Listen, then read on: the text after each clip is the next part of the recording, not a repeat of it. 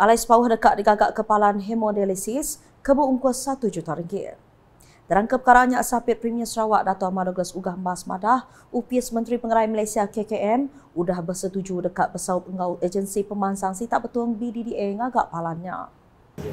Uh, mereka sudah bersetuju kerjasama uh, BDDA dengan klinik untuk membina satu pusat hemodialisis di Sepauh yang akan berharga 1 juta klinik hemodialisis ini diperlukan kerana ramai orang sepawah memerlukan rawatan hemodialisis. Ah, jadi inilah satu uh, persetujuan yang kita ada pada hari ini. Yang merah ke perkaranya maya nemu ngagai klinik sepawah bulai ngau sapit Menteri Pengerai Malaysia Dato' Lukanis Manawang Sauni hari tiga tu tadi.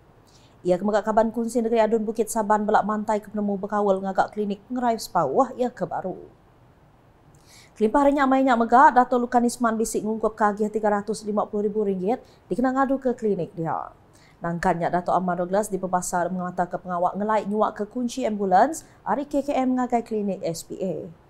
Nangkannya Dato' Ahmad Douglas di pembasar mengata ke pengawak ngelai nyuak ke kunci ambulans hari KKM mengagai klinik Sepawah.